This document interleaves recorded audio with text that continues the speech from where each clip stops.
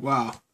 Hey, so guys, man, uh, it's the uh, 21st of May, um, Xbox Day, but apparently um, there's something else happening on the uh, Man of Steel website. Make sure my volume is up, and uh, we'll see if this this thing loads, man.